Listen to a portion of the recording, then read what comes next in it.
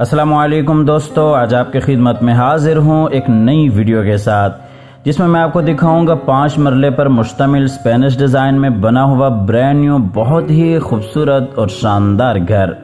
ये आप घर का फ्रंट एलिवेशन देख रहे हैं, जो कि मॉडर्न तरीके के साथ स्पेनिश डिज़ाइन में बहुत ही खूबसूरत अंदाज से डिज़ाइन किया गया है।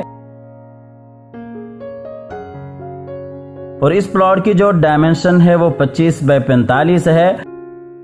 जो खूबसूरती आप घर के बाहर से देख रहे हैं, इससे ज़्यादा आपको ये घर अंदर से खूबसूरत मिलेगा। तो आप हजरा से गुजारिश है कि वीडियो में आखिर तक मेरे साथ रहिएगा, ताकि आपके सामने सारी डिटेल्स बर वक्त आती रहें। घर की लोकेशन घर की प्राइस घर का खूबसूरत डिज़ाइन और कॉन्टेक्ट नंबर ये घर के बाहर खूबसूरत लॉन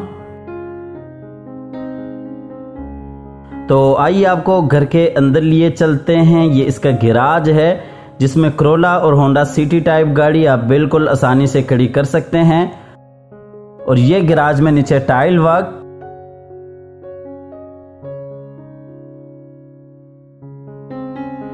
और ये ऊपर सीलिंग डिज़ाइन। ये बिल्कुल सामने साइड गली जो कि डीएचए के रूल्स में से है और इसी तरह से ये फ्रंट गली जो कि फाइव फीट की है।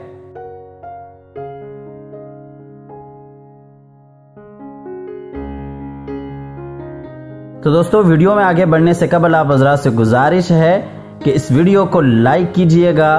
चैनल को सब्सक्राइब करने के साथ साथ बेल आइकॉन भी लाजमी दबा दीजिएगा। तो आइए आपको घर के अंदर लिए चलते हैं। यही साइड पे ऊपर जाने के लिए सीढ़ियाँ, बिल्कुल उसके साथ ही पाउडर रूम और ये नीचे वाले पोर्शन का बेडरूम ये एलसीडी पॉइंट और इसी तरह से दीवार पे वॉलपेपर वर्क और ये फ्रंट साइड पे किचन नीचे वाले पोर्शन के लिए।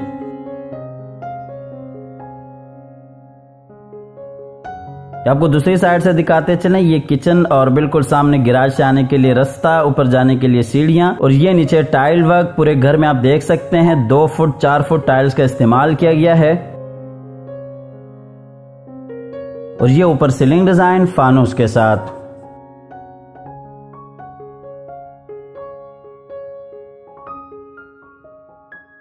ये पाउडर रूम जो कि आप टीवी लॉन्च के लिए और ड्राइंग रूम के लिए इसे आसानी से यूज़ कर सकते हैं।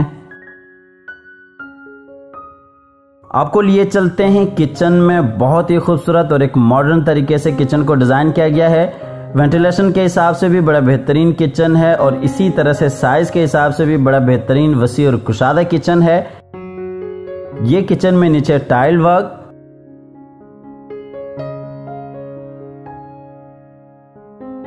और ये ऊपर सीलिंग डिज़ाइन उसके बाद आपको लिए चलते हैं नीचे वाले पोर्शन के बेडरूम में। ये बेडरूम में दीवार पे वॉलपेपर हुआ, खूबसूरत डिज़ाइन के साथ इसी तरह से बिल्कुल सामने विंडो और ये इस साइड पे ड्रेसिंग एरिया अटैच वॉशरूम ये बेडरूम में नीचे वुड एंड फ्लोर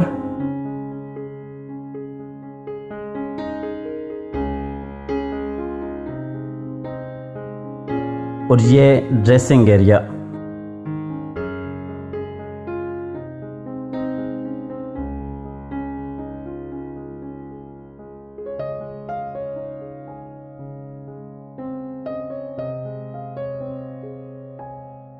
ये अटैच वॉशरूम इस बेडरूम के लिए। बहुत ही खूबसूरत अंदाज के साथ सारे वॉशरूम्स को डिज़ाइन किया गया है। पूरे घर में क्वालिटी वाइज कोई कंप्रोमाइज नहीं किया गया। और वीडियो आखिर तक देखते रहिएगा। कमेंट सेक्शन में अपने राय का इजहार लाजमी क्या करें। आपकी राय हमारे लिए बायस हौसला अफजाई बनती है।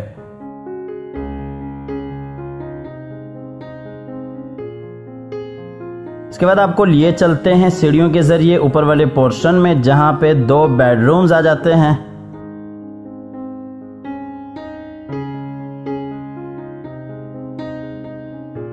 ये हम आगे ऊपर वाले पोर्शन में एक बेडरूम बैक पे आ जाता है और इसी तरह से ये सेंटर में वॉशरूम है और ये इस साइड पे फ्रंट वाला बड़ा बेडरूम, ये दोनों दरवाजे फ्रंट वाले बेडरूम के लिए है।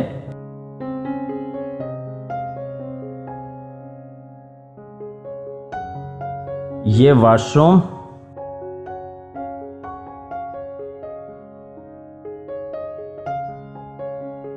इसके बाद आपको लिए चलते हैं फ्रंट वाले बेडरूम में।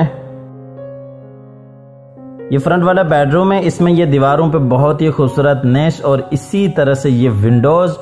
इस बेडरूम में आप पार्टीशन भी कर सकते हैं, एक साइड को आप एज अ स्टडी रूम बना सकते हैं और दूसरी साइड को आप एज अ बेडरूम यूज़ कर सकते हैं।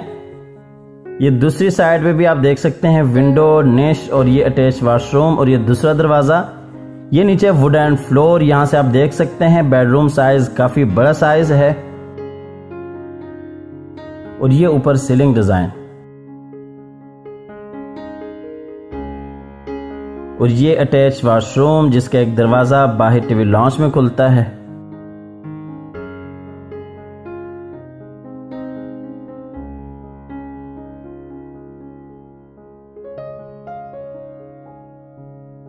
और ये बिल्कुल सामने शावर एरिया, यहाँ पे आप देख सकते हैं, शावर एरिया को सेपरेट रखा गया है।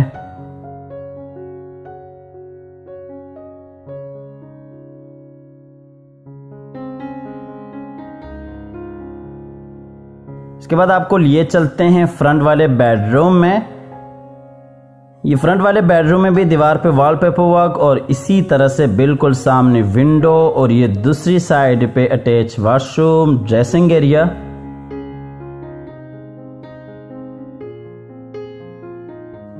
ये नीचे वुड एंड फ्लोर इस बेडरूम में। और इसी तरह से ये ऊपर सीलिंग डिज़ाइन ये इस बेडरूम का अटैच वॉशरूम है और ये इस बेडरूम के लिए ड्रेसिंग एरिया इसके साथ ही आपको इस घर की लोकेशन बताते चले।